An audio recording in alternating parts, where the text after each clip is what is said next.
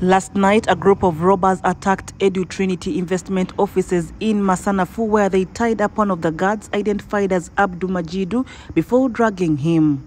It is alleged that Majidu's colleague identified as John Mwesigwa had connived with the robbers to drag and tie Majidu so that they can carry on with their robbery without any interruption.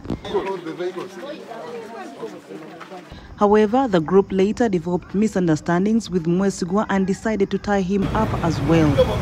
After taking Mwesigwa's gun, there was a scuffle that attracted the attention of residents who launched a search for the robbers. It was later discovered that the robbers had abandoned the gun in Kinonya, a nearby area.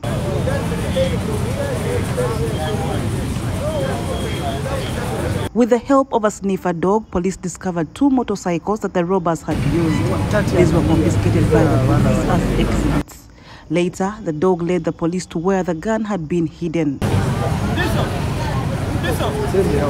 Police also managed to arrest the three robbers in addition to John Mwesigwa, one of the guards. The suspects took police to their homes where a number of evidential items were recovered.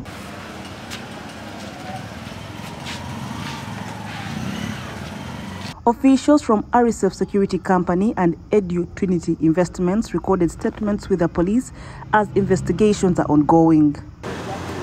Private guards have been urged to be on high alert as many criminals are targeting them to steal their guns, which they use in a number of robberies.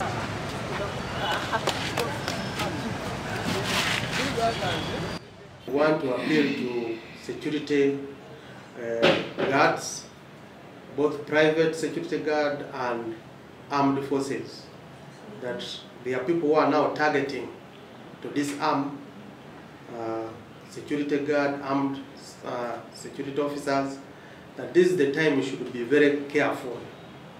Don't go to sleep. The time you are planning to sleep at 3 a.m., that's when they have also monitored you.